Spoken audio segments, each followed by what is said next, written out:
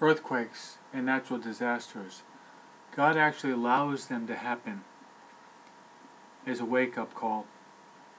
And how opportune that God would allow an earthquake to shake Southern California several times over the past 24 hours in the weekend as a wake up call. We should meditate upon this earthquake that God wants to shake us up and meditate upon the four last things.